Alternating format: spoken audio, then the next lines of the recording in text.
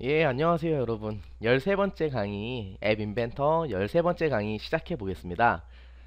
어, 이번 13번째 강의에서는 애니메이션을 한번 만들어 볼 겁니다. 어, 흔히 여러분이 알고 있는 애니메이션, 만화가 움직이도록 하는 걸 한번 배워 볼 거고요. 어, 그동안 배웠던 걸 종합해 보는 시간이 될 거기 때문에 아주 어렵거나 생소하지는 않을 겁니다. 기존에 배웠던 걸 응용해서, 활용해서 다 같이 재미있는 애니메이션 한번 만들어 보겠습니다.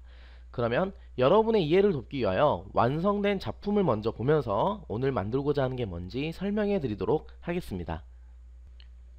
자, 오늘 만들고자 하는 애니메이션의 viewer는 디자인은 이렇게 생겼습니다. 실제로 완성된 작품은 이렇습니다. 지금 딱 두 장, 두 장의 image sprite를 계속 반복합니다.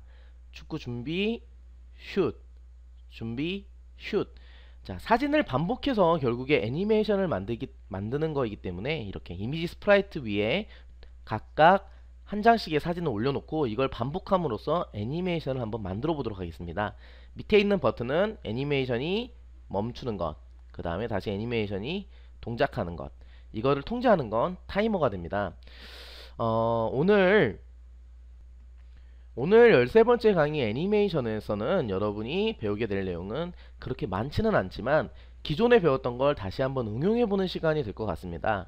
지난번에 활용했던 시간, 시계, 타이머, 즉 알람 기능을 활용해서 image sprite와 시계를 이용해서 image sprite가 계속 반복되도록 보였다가 안 보였다가 보였다가 안 보였다가 그리고 논리블럭 논리블럭이라고 하면 여러분이 어색할 수도 있지만 지난번에 배웠던 true와 false 보였다가 진실로 만들었다가 거짓으로 만들었다가 진실로 만들었다가 거짓으로 만들었다가 그 다음에 오늘 처음 배우게 될 블럭은 not 블럭 하나만일 겁니다. not은 영어에서는 부정 즉 반대로 그것 무엇이 아닌 반대로 하거나 부정할 때 사용한, 사용하는 단어이고요. 앱 인벤터에서는 어떤 식으로 활용되는지 직접 수업을 진행하면서 배워보도록 하겠습니다. 그러면 먼저 미리 보기를 통해서 선생님이 만들어가는 미리 보기를 통해서 오늘 어떤 식으로 진행이 될지 어떤 걸 어떻게 조립해야 될지 먼저 미리 살펴보도록 하겠습니다. 미리 보기 시작합니다.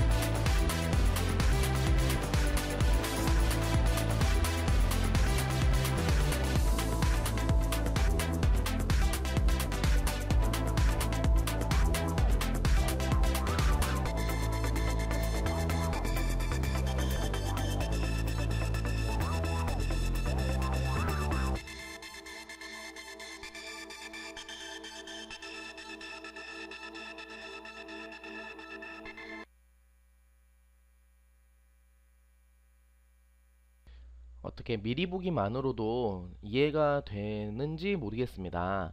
기존에 활용했던 타이머와 논리블록으로 활용하긴 하지만 분명히 약간의 설명이 필요하지 않을까 생각합니다.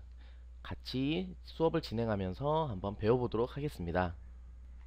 자, 새로운 프로젝트를 하나 준비해 주시기 바랍니다. 선생님은 일단 슛이라는 이름으로 한번 애니메이션 새로운 프로젝트를 한번 만들어 보도록 하겠습니다.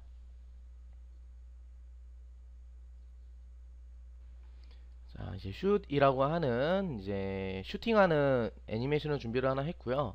어, 완성된 작품을 살펴보니까 일단 구도는 이렇게 되는 것 같습니다. 이곳에는 image sprite가 올라갈 거니까 캔버스일 거고요. 지금 이 장면에는 하나밖에 보이지 않지만 한 장밖에 보이지 않지만 사실은 두 장인 겁니다. image sprite가 그래서 슈팅하는 장면, 슈팅을 준비하는 장면 이 두 장이 반복되는 거고요. 여기는 공간 좀 띄워주고 버튼 두 개, 버튼 두 개가 나란히 들어가기 위해서는 어, horizontal 레이아웃 해서 horizontal arrangement가 필요하겠네요. 먼저 캔버스부터 image sprite를 올릴 수 있는 캔버스부터 올려보겠습니다. 캔버스를 하나 올려놓고 크기는 크기는 여러분이 마음대로 해도 됩니다. 선생님은 150, 150 정도로 해서 한번 준비를 한번 해보겠습니다. 여기에 image sprite는 하나가 아니라 둘 여기도 보시면 image sprite 1과 2 이게 보였다가 안 보였다가 sprite 1이 보이는 동안은 2가 안 보였다가 2가 보이는 동안은 1이 안 보였다가 반복하게 될 거고요.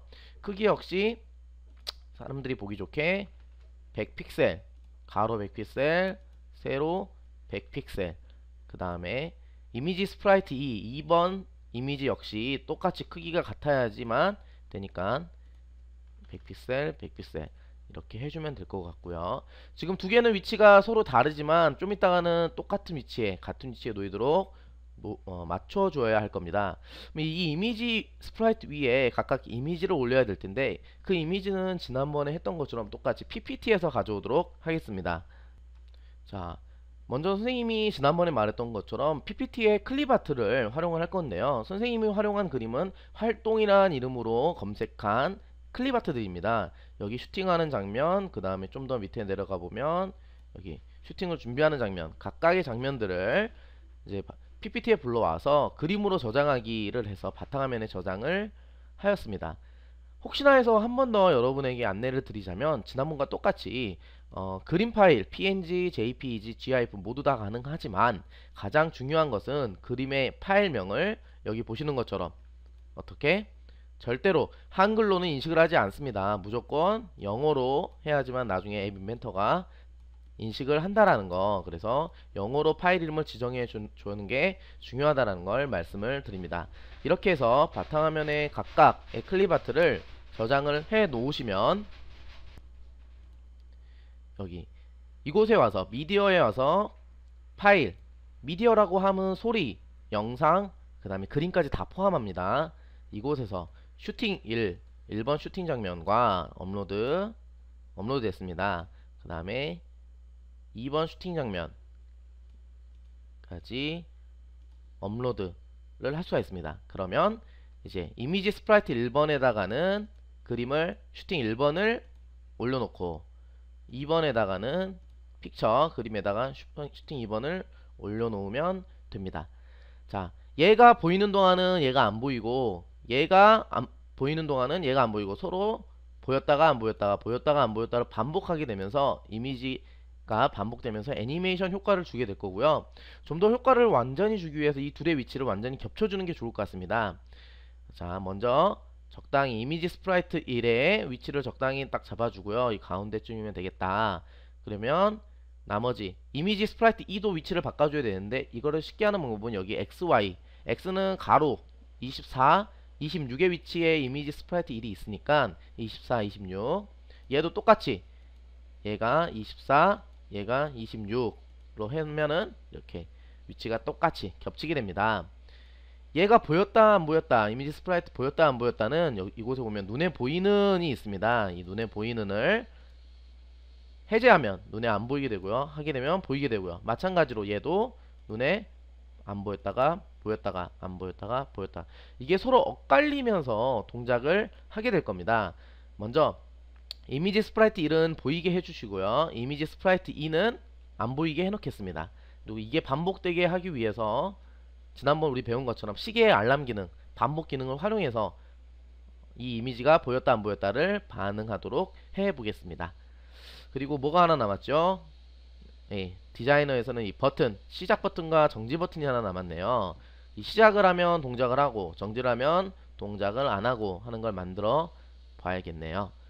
어, 공간을 좀 띄우기 위해서는 라벨, 적당한 라벨 하나 놓고 그 다음에 텍스트는 지우고 높이를 한 150 정도로 적당히 띄워주고 그 다음에 버튼 두 개가 나란히 들어가게 하기 위해서 레이아웃에서 가로로 놓는 horizontal arrangement에 버튼을 하나, 버튼을 둘이라고 놓으면 되겠네요. 첫 번째 버튼의 글자는 시작, 시작이라고 놓고 두 번째 버튼은 정지라고 놓으면 좀 더 좋을 것 같네요.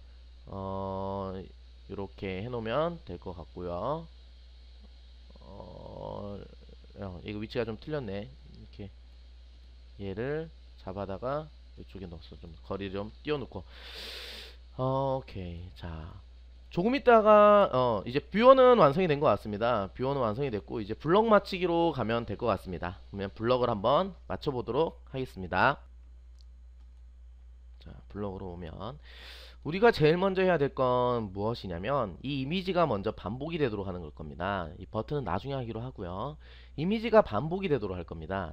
이미지 sprite 1이 보이는 동안 sprite 2는 안 보여야 되고 sprite 1이 안 보이는 동안 sprite 2는 보여야 되고 이미지 sprite 1이 보이는 동안 세팅 이미지 sprite 1의 viewer 자 이거 보이시나요? 자 이거 어렵지 않습니다. 자 세팅하는 겁니다. 정하는 겁니다. 이미지 sprite 1 자, 1번 그림의 viewer visible 보이는 걸 보였다가 안 보였다가 보였다가 안 보였다가 이거를 처음에는 보였다 하고 얘가 보이는 동안 이미지 sprite 2는 이미지 sprite 2의 viewer, visible은 안 보이는 겁니다. 이게 이해 가시나요? 자, 그 다음에는 어떻게 될까요? 그 다음에는 처음에는 얘가 보였다가 얘가 안 보였으니까 그 다음에는 똑같이 준비를 했다고 치고 자 얘가 보였다가 이미 스발 잘, 잘 따라와야 됩니다 1번이 보였고 2번이 안 보였습니다 1번만 보였습니다 그 다음에는 2번만 보여야 될 겁니다 2번만 보여야 되니까 1번은 안 보이고 2번은 보이는 걸로 바꿔줘야겠죠 안 보이고 보이고 그 다음에는 그 다음에는 다시 1번만 보여야 될 겁니다. 다시 이거 여기도 보면 1번만 보입니다. 1번만 틀으니까 1번만 보이고 여기는 2번만 보이고 다시 여기는 1번만 보이도록 해야 됩니다. 얘가 보이고 이미지 sprite 1이 보이고 얘는 안 보이고 얘가 보이고 얘가 안 보이고. 이게 계속 반복이 되도록 해야 됩니다. 이제 여기서부터 이제 고민이 시작되는데요. 이거를 어떻게 얘가 보이고 얘가 2번이 보이고 다시 1번이 보이고 이게 어떻게 반복이 되도록 할 건가? 이게 어떻게 할 건가? 이거를 고민을 계속 해보는데 아, 참 어려운 문제입니다. 그래서 이 어려운 문제를 활용할 때 무엇을 활용을 하냐면 not, not 블럭으로 활용을 하게 되는데요. 먼저 얘네들을 얘네들을 버립니다. 그리고 어떤 식으로 생각을 해보냐면 우리가 제일 처음에 이미지 sprite 이 1에 이 이미지 sprite의 이 visible은 보이는 상태로 해놓았고요. 이미지 sprite 2의 visible은 어떻게 나왔냐면 not visible 즉 보이지 않는 상태로 해놨기 때문에 지금 이 그림만 보이는 겁니다. 이거를 활용을 해서 무엇을 가지고 오냐면 이미지 sprite 1의 현재 visible 상태 이미지 sprite 지금 1번 그림은 보이는 상태입니다. visible 상태. 이 visible 상태. 그리고 2번 sprite에 2번 sprite는 지금 보이지 않는 상태이죠. 비주얼에 체크가 안 돼 있죠. 이 비주얼의 상태를 갖다가 어떻게 하냐면 시간이 타이머가 반복되는 동안 세팅하게 됩니다. 기존의 이미지 비주얼을 갖다가 처음에 보이는 1번이 보이도록 했었다면 not이면 부정이게 됩니다. not이면 부정이게 됩니다. 즉 처음에 이미지 sprite 1번의 visible의 반대로 즉 이미지 sprite 1번은 보이는 상태였으니까 not이라고 하게 되면 안 보이는 상태가 되겠죠. 반대로 이렇게 해버리면 어떻게 될까요? 자, 자 이걸 잘 이해를 잘 해야 됩니다. 이게 좀 어렵습니다. 이미지 sprite 1번의 sprite는 지금 현재 보이는 상태인데요. 여기다 not을 하게 되면은 안 보이는 걸로 바뀝니다. 그리고 안 보이는 걸로 바뀌고 2번 같은 경우는 현재 안 보이는 상태지만 not을 하게 되면 이미지 sprite 2번의 visible은 보이는 상태로 됩니다. 첫 번째 회는 그렇게 돼요. 다음에 다시 이제 알람이 다시 한번 울릴 때는 처음에는 X였던 게 이제 반대가 되니까 O가 되고 1번은 1번 그림입니다. 1번 sprite 여기는 2번 sprite 두 번째 갈 때는 이제 처음에 O였으니까 이제 O로 바뀌어져 있으니까 하게 되니까 다시 X로 됩니다. 그 다음 이쪽 다시 해서 다시 이제 순환해서 다시 한번 알람이 울릴 때는 다시 한번 이미지 sprite 1번의 visible을 반대로 됩니다. 현재 O였으니까 X로 그 다음에 2번의 visible은 X였으니까 O로 또 이걸 반복하면 X였던 건 O로 O였던 건 X로 이렇게 되면 처음에는 2번만 보였다가 그 다음엔 1번만 보였다가 다시 2번만 5였다가 다시 1번만 5였다가 이거를 타이머에 따라서 반복을 하게 됩니다. 여기까지 놓고 한번 확인을 한번 해보겠습니다.